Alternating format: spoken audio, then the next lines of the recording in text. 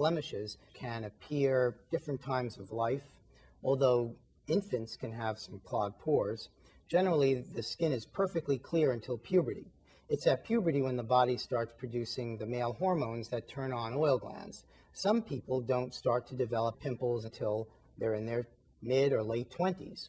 And that's because their hormone levels, in women especially, peak at that time of life.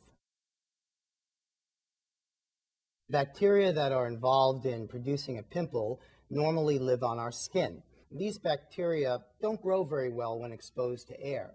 However, when they're trapped in the oil below the surface, in that airless environment, they grow very well. They multiply, uh, breaking down the oil that the oil gland produces. Pretty soon, the plug stretches the pore, and you see a pimple. One of the most effective ways to prevent bacteria from infecting the oil is to use exfoliation. By using exfoliation, we loosen the clogs in the oil glands, and that allows the oil to flow freely to the surface, preventing trapping of bacteria.